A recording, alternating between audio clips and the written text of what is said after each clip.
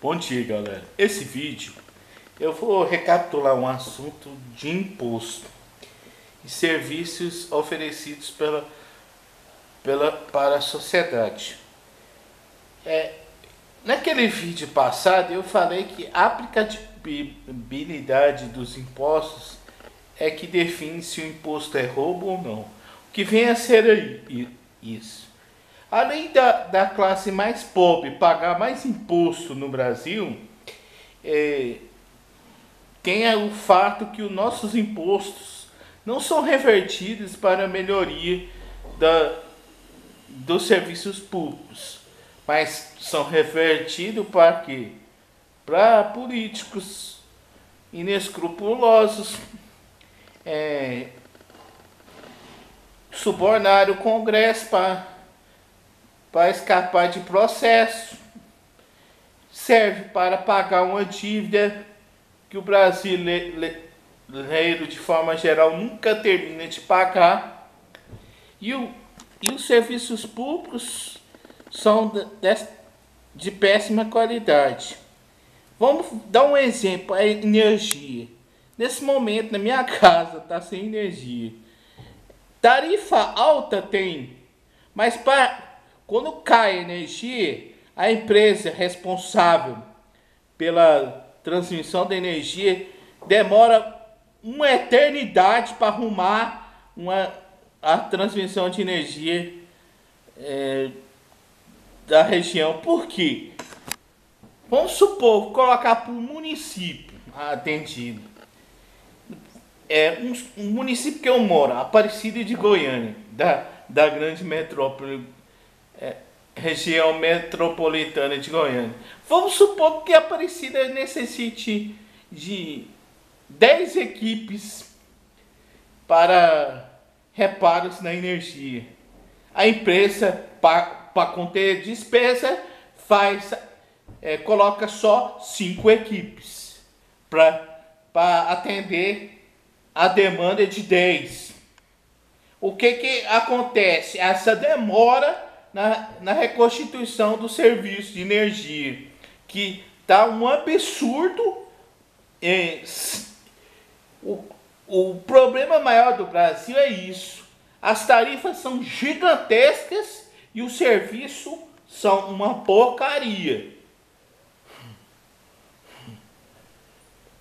Eu garanto, se adequasse, fizesse uma reforma tributária em que os ricos pagassem mais do que os pobres e cada centavo dos nossos impostos fosse revertido mesmo em benefício do, do povo e não havesse corrupção, esse país seria do nível de uma Dinamarca. Porque imposto do nível desses países nórdicos tem, mas serviços públicos são é equivalente a serviços públicos de países como a Nigéria, a Somália, esses países que estão em guerra, em constante guerra, onde a miséria extrema é gigantesca, que o Brasil não está perdendo nada, nada com, é, com relação a esses países. Por quê? Está é, voltando o índice de miseráveis, pessoas que vivem abaixo da pobreza. Por quê? A nossa elite acha que o principal é o econômico. O povo morrer de fome? Pode, desde que a economia seja uma mil maravilha. Como diria o senhor Carrasta Azul Mendes é, naquela época. A economia vai muito bem, obrigado. E o povo vai mal. E quem acha ruim, eu pego e arrebento. É a lógica que tem que ser aplicada. Porque os neoliberal acham que o neoliberalismo é a oitava maravilha do mundo. É, é, uma, é uma verdade revelada. Eu fico pensando, é, é, as pessoas deviam ler mais, as pessoas deviam reivindicar não a diminuição de impostos, mas que os nossos impostos fossem aplicados para as coisas que fossem necessárias em benefício do povo e não do bolso de fulano de tal e para pagar uma dívida que o Brasil nunca deixa de pagar. É isso, galera. E espero que o YouTube não restrinja esse vídeo, porque é um, um vídeo que, que eu destino à reflexão não é um conteúdo controverso, não é, é destinando ódio. A vida, todos nós temos que buscar a paz. É um, uma vida sem ódio no coração. É, mas temos também que termos, ter os direitos garantidos.